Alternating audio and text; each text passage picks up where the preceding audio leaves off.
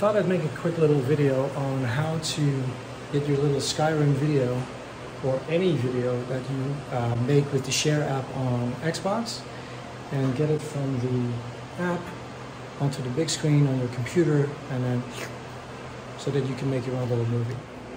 So let's get this going.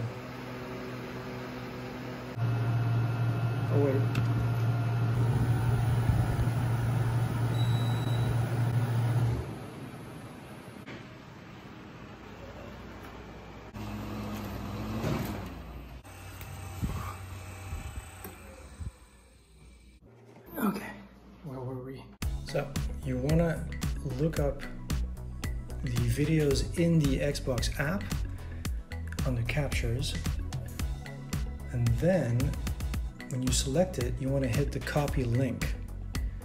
Now if your Mac is on the same Wi-Fi you can just copy from there and then over here you just hit command V paste there it is hit enter and now you do get access on xbox.com to the videos you shared.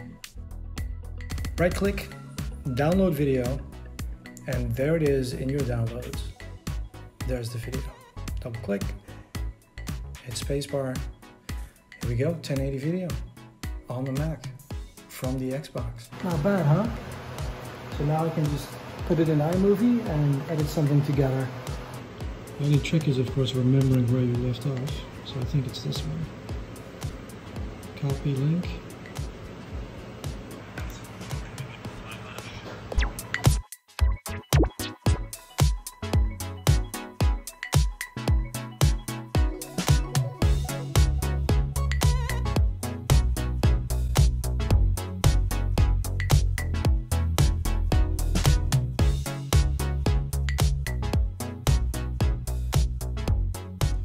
I've got it open here in um, QuickTime.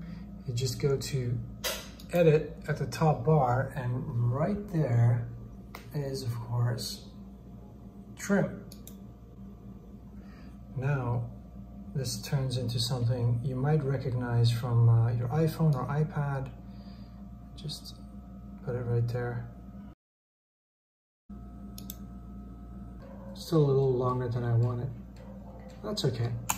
Something I also discovered on the first run is that, so I got confused thinking it was iMovie, the QuickTime video, and uh, I wanted to add the music. So I dragged the, um, the MP3 file onto QuickTime thinking it was iMovie, but it still added it in a new timeline that I've never seen before.